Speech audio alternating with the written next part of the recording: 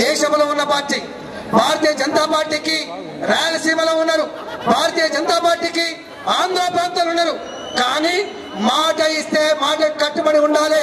అది రాజకీయ పార్టీ లక్షణం అని చెప్పింది ఇవాళ మాట కేవలం ఓట్ల కోసం కాదు మాట కేవలం అధికారం కోసం కాదు మాట ప్రజల కోసం ఉండాలి మాట ప్రజల సమస్యల పరిష్కారం కోసం ఉండాలి మాట ప్రజల ఆకాంక్షలు కూడా ఉండాలని చెప్పి ఇవాళ నిర్ణయించుకొని ఇవాళ తెలంగాణ రాష్ట్ర ఏర్పాటు కోసం నిబద్ధతతో కట్టుబడి ఉన్న పార్టీ భారతీయ జనతా పార్టీ. దేశంలో ఉన్న పార్టీ భారతీయ జనతా పార్టీకి రాయలసీమలో ఉన్నారు. భారతీయ జనతా పార్టీకి ఆంధ్ర ప్రాంతంలో ఉన్నారు. కానీ మాట ఇస్తే మాట కట్టుబడి ఉండాలి. అది రాజకీయ పార్టీ లక్షణం అని చెప్పింది. ఇవాళ మాట కేవలం ఓట్ల కోసం కాదు మాట కేవలం అధికారం కోసం కాదు మాట ప్రజల కోసం ఉండాలి. మాట పరిష్కారం ఉండాలి.